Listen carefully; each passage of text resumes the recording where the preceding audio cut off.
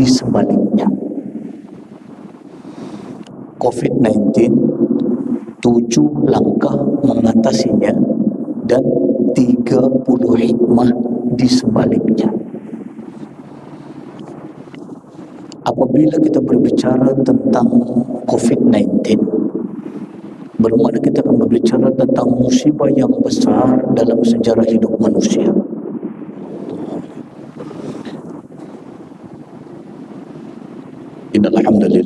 الحمد لله. الحمد لله الذي أرسل رسوله بالهدى ودين الحق ليظهره على الدين كله وكفى به شهيدا. أشهد أن لا إله إلا الله وحده لا شريك له. وأشهد أن سيدنا ونبينا محمدا عبده ورسوله. خليله وحبيبه وعلى آله وصحبه ومن دعا واستنى إلى سنته إلى يوم الدين. ولا حول ولا قوة إلا بالله العلي العظيم. أما بعد.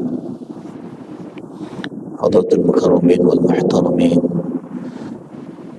تنتو الإمام تنتو الغرو والأساتذة والنزير لنا لجوة وسم سن ألفانا يسجي سبيل المسلمين للمسلمين جماعة صلاة مغرب يوم رحمة الله والحمد لله Puji dan syukur kita persembahkan kehadirat Allah Subhanahu wa taala sebagai tanda kehambaan kita dan ketaatan kita di sisi Allah Subhanahu wa taala. Mudah-mudahan ianya menjadi asbab keimanan dan ketakwaan kita makin bertambah di dalam kita menjalani kehidupan di dunia ini. Salawat dan salamnya tidak lupa kita sampaikan pada junjungan baginda Rasul Muhammad sallallahu alaihi wasallam yang telah menunjukkan jalan hidup kita semuanya. Minad dalala ila hidayah wa minaz zulumati ila nur. Tuan-tuan dan puan-puan diam tak diam lima bulan juga anak bercuti. Sepatutnya pada kuliah subuh minggu pertama belum ustaz lagi katanya. Itu Pak Ustaz Zuhairi SMS katanya malam ini kosong. Ketepatan malam ini pun patutnya dekat kota Kemuning pun belum mula lagi. Tak apalah datang ke sini. Baik jadi perkongsian kita pada pertemuan malam ini. Mungkin pertemuan ini akan bersiri. COVID-19 langkah mengatasinya dan 30 hikmah di sebaliknya. COVID-19 tujuh langkah mengatasinya dan 30 hikmah di sebaliknya. Apabila kita berbicara tentang COVID-19, bermakna kita akan berbicara tentang musibah yang besar dalam sejarah hidup manusia bahkan sepanjang sejarah umat manusia penyakit yang melanda hampir seluruh negara-negara di dunia ini. Penyakit inilah yang kita hadapi sekarang. Jadi bolehlah anda katakan ia adalah satu musibah. Persoalannya sekarang apa itu musibah? Bahasa Arab musibah ini maknanya peristiwa atau kejadian yang menimpa atau yang terjadi. Menurut arti bahasa musibah ini isi maf'ul. Kalau tuan-tuan belajar bahasa Arab yang menimpa yang terjadi yang terkena. Itu dinamakan dengan musibah Sedangkan menurut istilah dinamakan musibah. Apa sih musibah? Dinamakan musibah ada lima faktor. Ada lima unsur ia disebut dengan musibah. Coba tuan-tuan cek kalau ada yang lima faktor ini ada, maka itulah namanya musibah. Apa musibah? Yang pertama peristiwa atau kejadian. Yang kedua yang sedang terjadi atau yang sudah terjadi. Yang sedang berlaku atau yang sudah berlaku. Tuan-tuan perasan tak anak pada tanggal 3 Januari 2020 jatuh. Alhamdulillah sudah tak bertongkat. Tapi sakit itu sampai hari ini masih ada lagi musibah. Ya, benda yang terjadi atau yang sedang terjadi, peristiwa yang sedang terjadi atau sudah terjadi. Yang ketiga, yang menimpa seseorang atau banyak orang. Yang menimpa orang per orang atau ramai orang. Sama ada tuan-tuan secara pribadi atau umat manusia di dunia ini yang tengah berlaku. Yang keempat, bersifat negatif. Musibah ini bersifat tidak baik, yang bersifat kurang elok. Contoh, duit. Duit bukan musibah. Tapi kalau duit itu memeningkan kepala tuan-tuan, menyusahkan hidup tuan-tuan, maka itu duit sudah jadi musibah. Pasangan hidup bukan musibah. Tapi pasangan itu tuh memeningkan kepala, menyakitkan hati tuan-tuan perempuan, maka pasangan hidup sudah jadi musibah. Anak-anak sama. Pangkat, jabatan, kedudukan bukan musibah. Tapi kalau pangkat menjadikan kita sombong, pangkat jabatan menjadikan kita zalim, maka itu pangkat sudah jadi musibah. Innama amwalukum wa auladukum fitnah. Harta benda dan anak keturunan ia jadi musibah pada kamu, akan jadi fitnah pada kamu. Musibah. Kenapa? Bersifat negatif. Dan yang keempat, yang kelima, dinamakan musibah yang kelima yang tidak menyenangkan dan yang tidak menenangkan asbab musibah yang datang kepada tuan-tuan puan-puan. Hati tak tenang pikiran tak tenang. Hati tak tenteram pikiran tenteram. Maka itulah namanya musibah. So tuan-tuan dan puan-puan disebut musibah lima unsur. Ana ulangi sekali. Apa sih musibah? Yang pertama peristiwa atau kejadian. Yang kedua, yang sedang terjadi atau yang sudah terjadi, yang sedang berlaku atau yang sudah berlaku. Yang ketiga, yang menimpa seseorang atau ramai orang, yang menimpa orang per orang atau banyak orang. Yang keempat, bersifat negatif yang sifatnya tak elok yang sifatnya tak baik dan yang kelima dinamakan musibah yang tidak menyenangkan dan tidak menenangkan.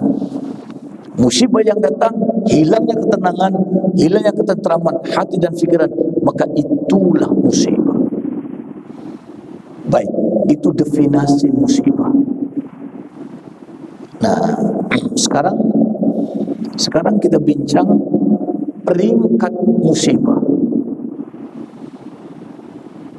Ulama menyebutkan musibah yang ditimpakan Allah kepada umat manusia, kepada umat Islam khususnya atau umat manusia pada umumnya. Peringkat musibah ini ada tiga peringkat. Yang pertama musibah dalam peringkat arti ujian atau cobaan atau dugaan Allah. Musibah yang Allah timpakan kepada manusia peringkatnya ujian, cobaan, dugaan Allah. Siapa musibah peringkat yang pertama ni? Orang-orang yang beriman. Orang-orang yang bertakwa. Orang-orang yang soleh itu orang-orang yang berakhlak mulia iman takwa mantap amal soleh banyak akhlak cantik kenapa Allah datangkan juga musibah tak apa itu ujian dan cobaan dugaan Allah kepada kita. Maknanya di sini Allah sayang kepada hambanya yang begini. Tapi bentuk sayangnya Allah kepada hambanya diberinya hambanya sedikit musibah. Itu musibah peringkat ujian Allah. Atau dalam bahasanya kan ibtila. Yang kedua musibah peringkat yang kedua musibah ini namanya teguran atau peringatan atau amaran Allah ulangi peringkat musibah yang kedua musibah dalam peringkat teguran atau amaran atau peringatan atau warning Allah Siapa mereka musibah yang kedua ni? Orang-orang yang fasik. Orang-orang yang lalai. Orang-orang yang lawa. Kefasikannya, kelalaiannya, kelaguannya yang dilakukan dalam hidupnya. Allah turunkan musibah untuk menegur hambanya. Kembali ke pangkal jalan. Mari patah balik. Dah terlanjak tu, dah terbabas tu. Jom patah balik masih untung, masih ringan. Allah tegur, Allah ingatkan di dunia. Kalau nanti diingatkan di akhirat, sudah bukan teguran. Di akhirat hanya balasan yang ada. Itu peringkat musibah yang kedua, teguran atau peringatan atau amaran, warning Allah. Dan yang ketiga, peringkat musibah yang ditimpakan Allah kepada hambanya. Peringkat musibah yang ketiga adalah musibah dalam peringkat bala dan azab seksa Allah kepada hambanya. Siapa musibah peringkat yang ketiga ni? Orang-orang kafir orang-orang zalim orang-orang munafik kekafirannya, kezalimannya, kemunafikannya Allah datangkan musibah musibah yang datang pada golongan yang ketiga ini namanya musibah azab dan bala Allah kepada kita Tuan-tuan cuba rasa kalau apa-apa yang tengah melaku, yang tengah menimpa sekarang, yang tengah berlaku sekarang atau yang sudah berlaku pada tuan-tuan punya kehidupan, agak-agak musibah ini yang mana? Yang pasti musibah hanya ada tiga peringkat. Ujian Allah kah? Teguran Allah kah? Atau bala Allah? Yang tahu jawaban, tuan-tuan jujur, hanya kita dengan Allah. Anda tidak tahu tuan-tuan kalau ada yang tengah terjadi musibah sekarang yang mana jawabannya anda hanya beri jawaban salah satu tiga pasti ada salah satunya yang mana tuan-tuan punya jawaban Maknanya di sini tuan-tuan, secara orang per orang, secara individu per individu, setiap orang didatangkan musibah oleh Allah, jawabannya lain-lain. Orang ini ujian Allah, orang ini tegur Allah, mungkin orang ini sudah bala Allah. Bergantung amalan, aktiviti dalam hidupnya, amalan yang bagaimana. Kalau baik, itu ujian Allah. Kurang baik, tegur Allah. Kalau tak baik, itu bala Allah. Mari tuan-tuan Musibah COVID-19 yang menimpa sekarang Ya Itulah jawabannya So secara pribadi Secara individu Secara perorangan Tiga-tiga jawaban Ada masing-masing Dan antara satu orang dengan orang yang lain Tidak sama peringkatnya Baik Itu secara orang per orang Sedangkan secara generalnya secara keseluruhannya secara amnya musibah yang datang kepada umat manusia COVID-19 lah.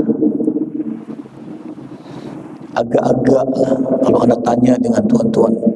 Secara generalnya hanya satu jawaban agak-agak menurut kacamata tuan-tuan dan menurut pandangan Islam musibah yang melanda dunia sekarang ini dalam pandangan Islam agak-agak yang mana jawabannya? Ujian Allah ke? Teguran Allah ke? Bala Allah. Orang per orang tiga-tiga lain jawabannya. Bergantung pada pribadi. Tetapi secara amnya secara menyeluruhnya musibah COVID-19 yang melanda umat manusia di dunia dalam pandangan Islam jawaban nomor berapa? Satu dua, tiga. Mana markah yang tuan-tuan bagi? Yang keberapa? Hanya tiga je. Yang keberapa?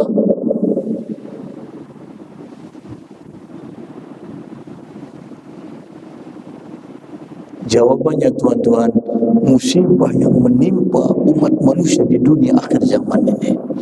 Dia sudah peringkat yang ketiga. Mungkin tuan-tuan tanya, mana boleh Ustaz main sebut aja. Baik. Tuan-tuan, tolong bezakan dulu. Bala umat Nabi Muhammad dengan bala umat yang terdahulu bala ini datang tiga perbezaan. Tiga perbezaan bala yang menimpa kepada kaum yang terdahulu dengan umat akhir zaman ini. Tiga saja. Di mana bezanya? Yang pertama buta. Yang kedua rata. Yang ketiga serta merta rumus bala yang Allah timpakan kepada umat Nabi Muhammad berbeza rumusnya dengan bala yang timpakan Allah kepada kaum tertentu. Di mana tiga saja? Buta, rata, serta merta. Ada tiga te, tuan-tuan. Baik, Allah terangkan satu. Yang pertama, buta. Bala terdahulu, Allah timpakan, dia celik mata engkau buat engkau kena tak buat garanti tak kena. Kenapa? Bala ni dia nampak mata oh engkau buat ni. Lah kena ni. Tak buat ni. Garanti tak kena. Zaman dulu punya bala siapa yang buat confirm kena. Tak buat insyaAllah tak kena. Tapi bala yang ditimpakan Allah kepada umat Nabi Muhammad buat tak buat memang kena. Kenapa? Buta. Nampak? Gambarannya tu. COVID-19 tak kira engkau orang soleh ke orang salah ke engkau kaki masjid ke kaki judi ke COVID-19 semua kena. Nampak? Itu beza yang pertama. Bala umat Nabi Muhammad sifatnya buta. Yang kedua rata. Artinya apa? Yang buatnya sikit yang kenanya banyak Mungkin, mungkin contoh. Mungkin yang buat orang Putrajaya, yang kenanya orang Subang Jaya, sama jayanya saja. Yang punya perangai orang Putrajaya, yang kenanya orang Subang Jaya, kan gitu. Kalau zaman dulu orang Putrajaya punya perangai orang Putrajaya, yang kena orang Subang Jaya tak kena. Zaman sekarang siapa yang buat rata? Mungkin yang buat orang Kuala Lumpur, yang kenanya orang Terantan, orang Terengganu, kan begitu. Rata. Contohlah untuk tuan-tuan muda faham. Aceh. Kalau ada orang Aceh, mohon maaf. Aceh yang berperang ni tentera je tuan-tuan. GAM dengan tentera Jakarta. 30 tahun perang tuan-tuan.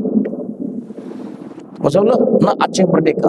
Dia tak nak ikut Jakarta tu. Perang tu gerung-gerung 30 tahun, 3 dekad perang tuan-tuan. Tak nak semua nak tunjuk power masing-masing. Allah datangkan tsunami setengah jam ratus ribu orang mati. Patut kalau salah tentera aja yang kena. Tapi orang yang tidak berdosa pun kena sama-sama. Kenapa? Rata. Kena faham ni rumusnya itu pasal kita kena ada namanya amar ma'ruf nahi mungkar kita kata ustaz-ustaz tu sibuk aja tu bising aja ya. Iyalah ustaz-ustaz sibuk bising. Engkau buat aku kena kalau engkau buat engkau kena ustaz tak bising tu. Nak bising buat apa? Bio dia buat dia tahu. Tak. Balanya umat Nabi Muhammad yang tuan-tuan wajib faham balanya buta rata dan yang ketiga serta merta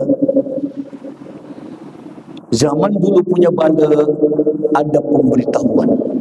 Contoh Nabi Nuh. Tuan-tuan, Allah datangkan bala banjir kepada Nabi Nuh. Sepuluh tahun banjir belum datang. Allah beritahu Nuh buat kapal. Di mana Nabi Nuh buat kapal? Atas gunung, atas bukit. Tak ada air, tak ada laut. Dibuatnya kapal besar, tuan-tuan. Kaum yang kata apa? Nuh sudah gila. Nuh sudah tak betul. Hanya apa? Itu kapal dibuat jamban. Dikencingi, diberaki oleh kaumnya tuan-tuan. Tapi Nuh dengan yakin 10 tahun akan datang jaga lingkup semuanya termasuk anak-anaknya lingkup sama tuan-tuan. Kenapa? Balanya bagi tahu awal kaum Nabi Lut diberitahu Lut pindah malam ini. Besok malam aku akan kembalikan dunia ini. Kaum Ad kaum Samud sebulan sebelum datang Allah beritahu tapi umat Nabi Muhammad hanya diberi tandanya saja. Tidak diberitahu balanya tapi diberitahu tandanya engkau langgar tanda ini engkau buat perang ini engkau buat tingkah laku ini confirm yang datang adalah bala contoh silakan tuan-tuan buka hadis Imam At-Tirmizi hadis nomor 2136 waruya an Ali bin Abi Talib radhiyallahu anhu wa karramallahu wajhah qala قال رسول الله صلى الله عليه وسلم Iza fa'alat ummati khamsata asyara khasnatan Halat bihal bala min Allah Nanti apabila umat aku atau apabila umat aku nanti Semuanya hadis ini zaman Nabi tidak ada. Apabila umat aku nanti melakukan 15 perangai nanti apabila umat aku melakukan 15 perkara 15 perbuatan maka sah apa yang datang waktu adalah bala Allah. Nabi tersebut beriman atau tidak? Semua. Apa dia?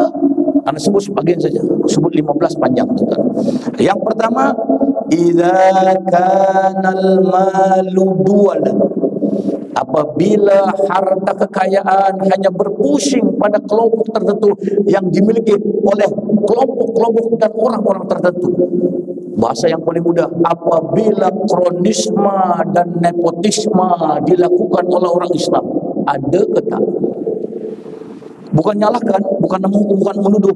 Kalau ini ada dalam masyarakat akhir zaman, sah apa yang datang adalah wala Allah. Satu. Yang kedua, wal amanatu maghnaman. Apabila amanah, apabila kepercayaan, apabila pangkat, jawatan dan kedudukan jadikan sumber mengaut keuntungan dan kekayaan pribadi, apabila corruption bermaharajalah, sah apa yang datang musibah adalah wala Allah. Ada ke tak ada? Ini baru dua tuan-tuan demam kita dah sampai sebulan 15 Ustaz. Dua cukup dah. Wa za'imul qaumi ardal apabila para pemimpin nanti adalah orang yang paling rosak dan rendah akhlak dan moral pada kaum pemimpinnya. Ada ke tak ada tuan-tuan? Cukuplah tiga saja. Cukup cukup cukup cukup cukup. Jangan jangan 15 Pengsan kita semua tuan-tuan bukan pada tuan-tuan bukan bukan pada tuan-tuan.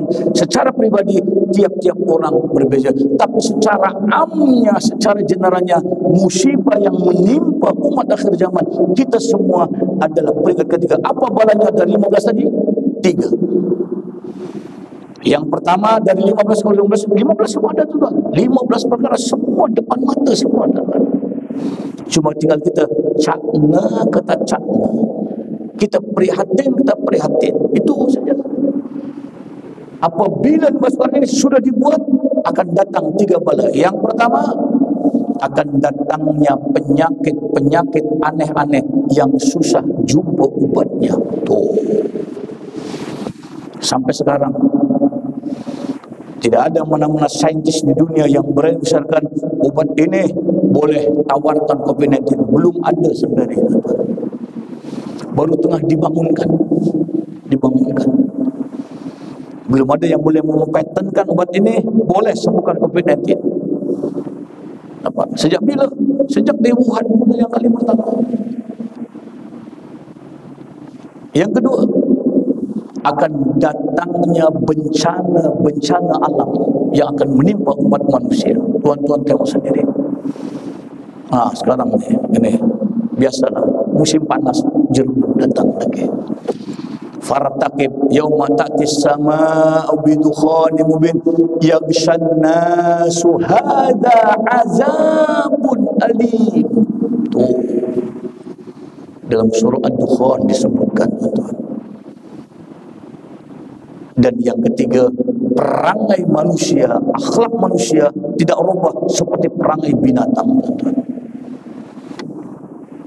Iya. Nama Tuhan. Ini yang anda sebutkan kepada tuan-tuan. Mari tuan-tuan. Kita sebenarnya kalau apa yang berlaku, kita hanya mangsa keadaan dari apa yang saudara kita di luar sana mereka lakukan. Baik. Itu peringkat musibah. Baik. Sekarang kita bincang sikap dalam menangani musibah. Nah, tuan-tuan dan puan-puan muslimin dan muslimat. Apabila musibah belum datang, bagaimanakah Islam mengajarkan agar ia jangan datang? Tetapi apabila musibah terpaksanya jadi juga datang, bagaimana sikap kita dalam menangani musibah yang tengah datang? Ada tujuh sikap. Tujuh langkah dalam mengatasi musibah di dalam kehidupan kita. Mari kita bincang satu-satu. Tolong diingat-ingat kalau perlu dicatat. Kita benda sudah datang. Bagaimana sikap ketika mana musibah sudah di depan mata kita? Baik. Langkah menangani musibah yang Islam ajarkan kepada tuan-tuan dan puan-puan ada tujuh sikap. Mari tuan-tuan, apa maksud anda berbicara isu ini? Agar kalau ia datang, tidak menyusahkan. Kalau ia berat, boleh meringankan. Kalau ia payah, boleh memudahkan. Itu saja. Musibah tidak mau tidak memang sudah datang. Bagaimana kita menyikapi musibah tadi? Maka jawabannya tujuh langkah saja. Baik. Yang pertama, langkah dalam menyikapi musibah langkah dalam mengatasi musibah yang pertama berusaha. Langkah yang pertama berusaha secara zahiriah. Berusaha secara zahir agar musibah tadi jangan datang pada kita. Apa langkahnya? Contoh COVID-19 langkah yang pertama yang Tuhan lakukan agar COVID-19 tidak datang kepada kita, apa langkahnya? Pakai mask, pelitup muka, jaga jarak, tuh, cek suhu, tak payah salam, and go ya tuan-tuan.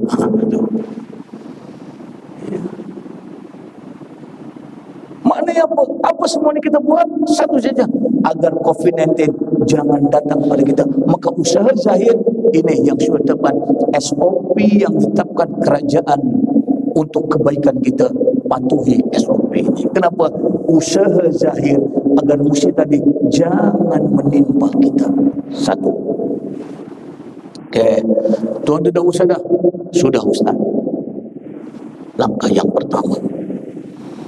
Yang kedua, apakah langkah dalam menyikapi musibah, langkah dalam menangani musibah yang wajib tuan-tuan lakukan? Yang kedua, ikhtiar. Usaha juga. Tapi kalau bezanya yang pertama ni fisikal. Ikhtiar ini mental. Artinya apa ikhtiar ini? Ada keyakinan hati, ada kemampuan otak. Hati kena yakin, otak rasanya mampu. Tak yakin tak mampu, jangan. Contoh.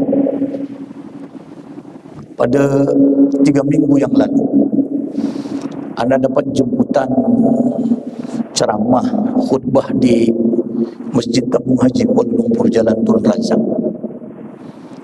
Ketepatan anak tinggal di rumah mertua sejak PKPB ini sampai sekarang anak tinggal di rumah ayah mertua. Jadi anak pun cakaplah dengan pak mertua ni. Dia kata ayah nak ikut ke pergi solat Jumat di Jalan Tun Razak. Di mana? Di Tabung Haji.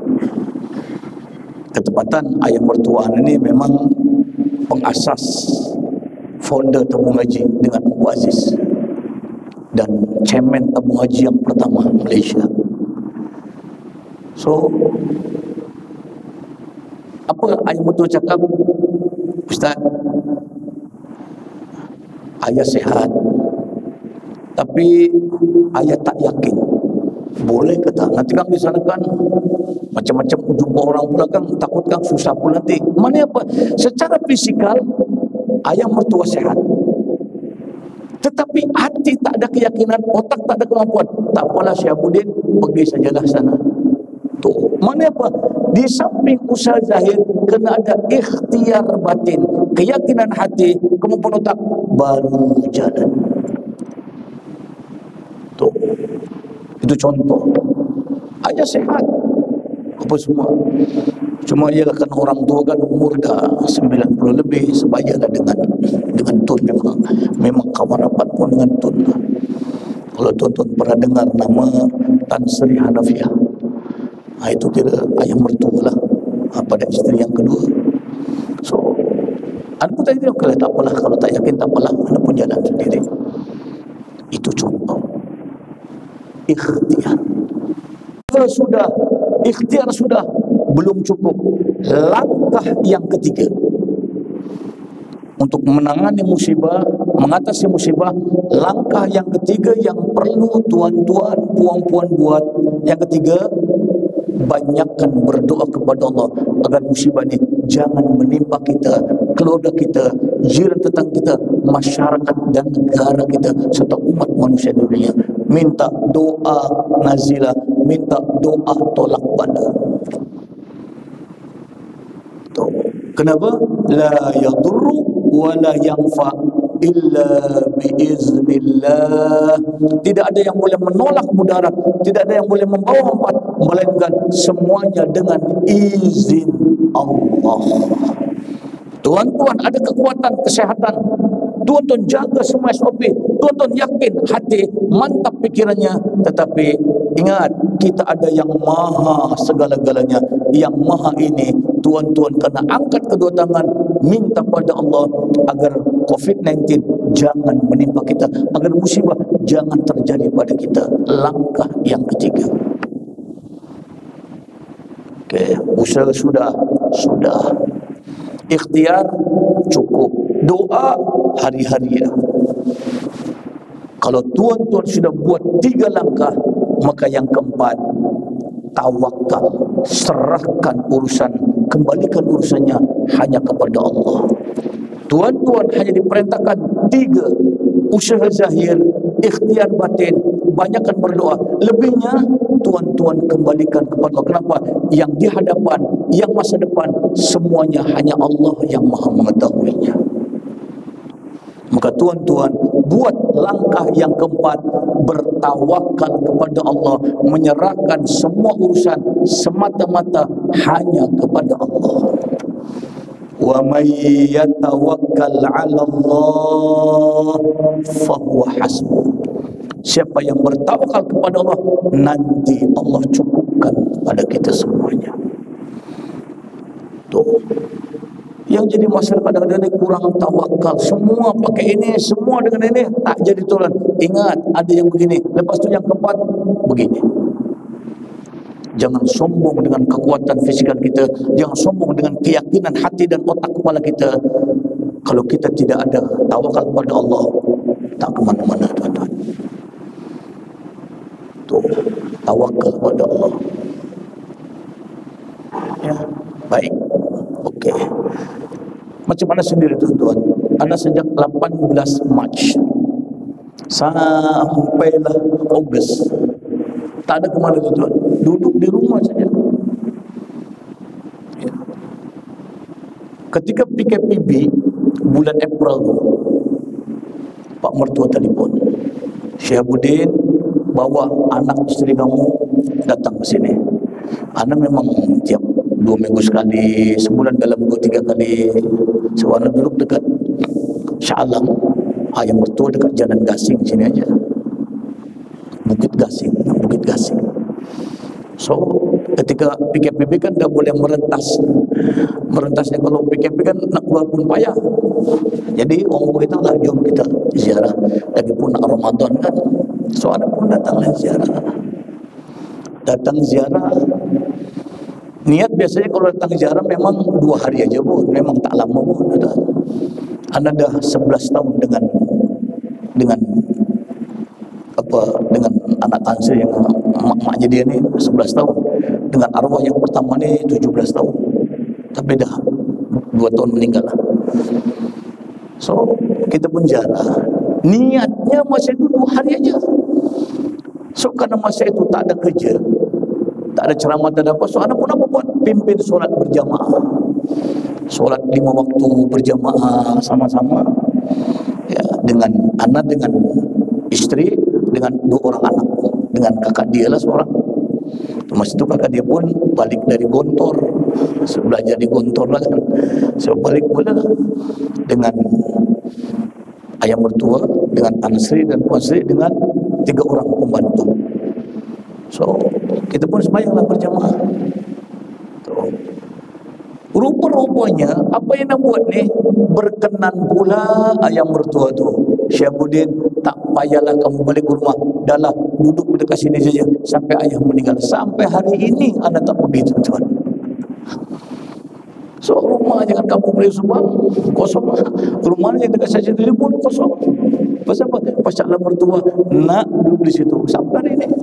Sebab apa ni pasal ada anak kecil kan umur 8 tahun. Kadang-kadang kita pun serba salah budak-budak lah kan. Tapi alhamdulillah nasib baiklah. Ayah mertua pula suka. Tak apa tak apa tak apa.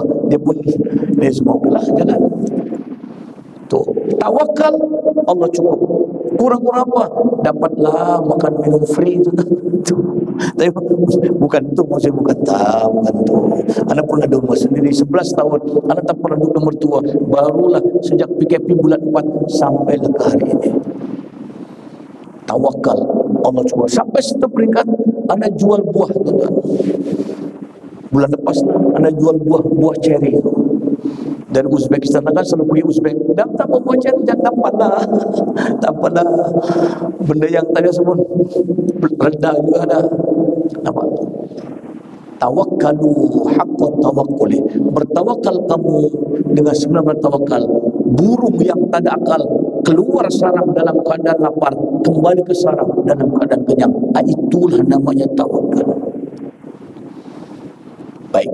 Itu yang ketiga yang keempat usaha zahir ikhtiar batin banyak berdoa tawakal. Lepas tawakal yang kelima datang juga tu penyakit datang juga tu covid-19 maka yang kelima sabar dalam menghadapinya. Lima.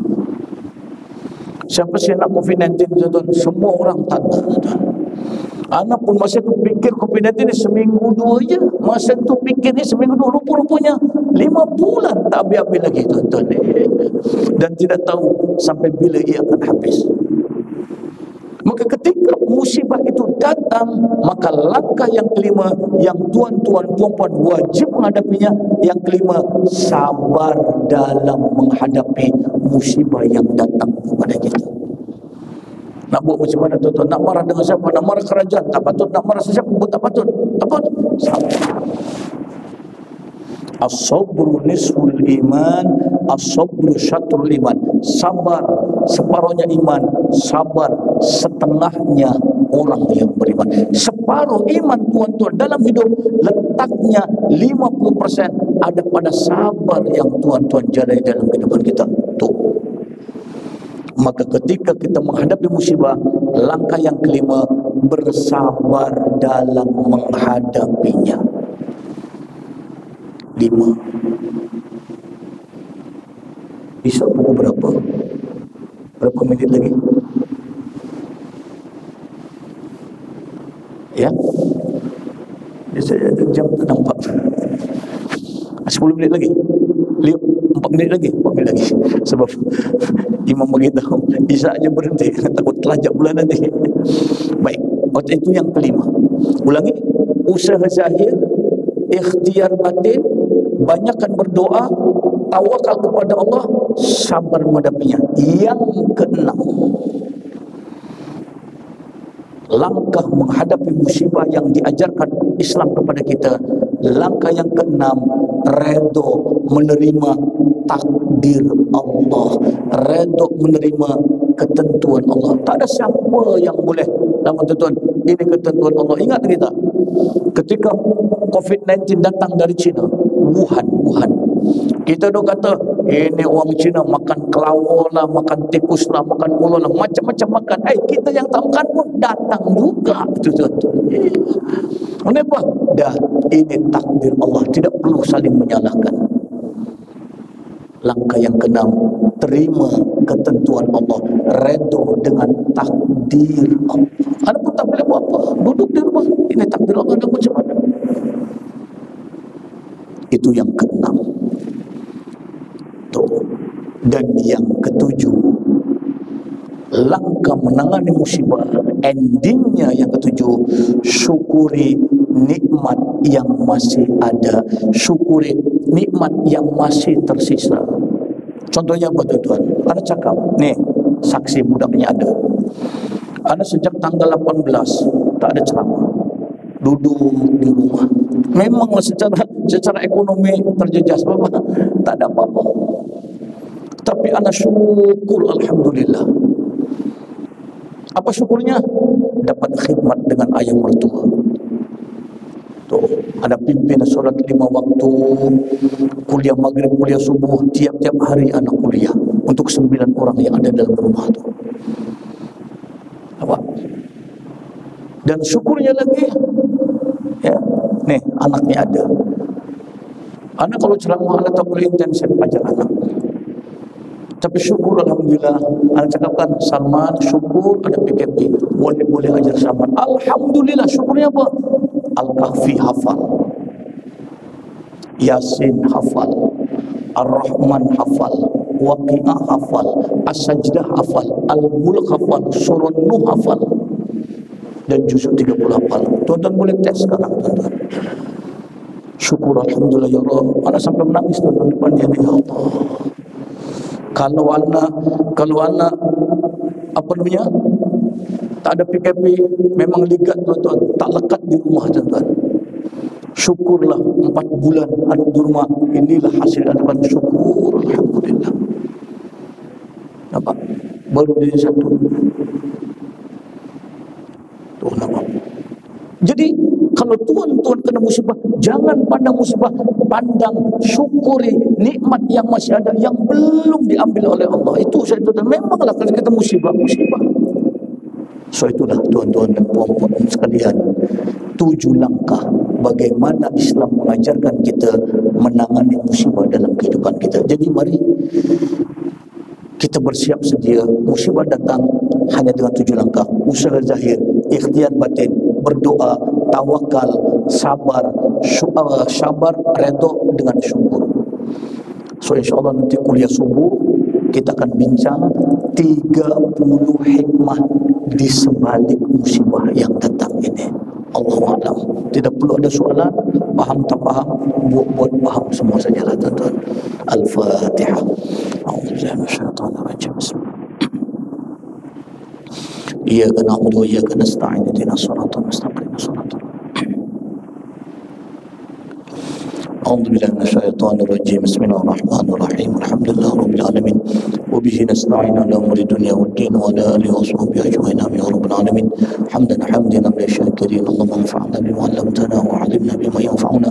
اللهم نبر قلوبنا من نور هديك ونظم شمسك اللهم يا دافع البلاء ادفع عنا الوباء والبلاء والفحشاء والربا وزنا الفتن والمرض والشدائد. ما ظهر منها وطن عن بلدنا هذا خاصة ونجمل المسلمين عامة. نعوذ بكلمات الله تامة من شر ما خلق. بسم الله الشافي بسم الله الكافي بسم الله المعافي بسم الله الذي لا يضر ما اسمه شيء في الأرض ولا في السماء. وسمع عليم اللهم نعوذ بك من البرص والجنون والجذام.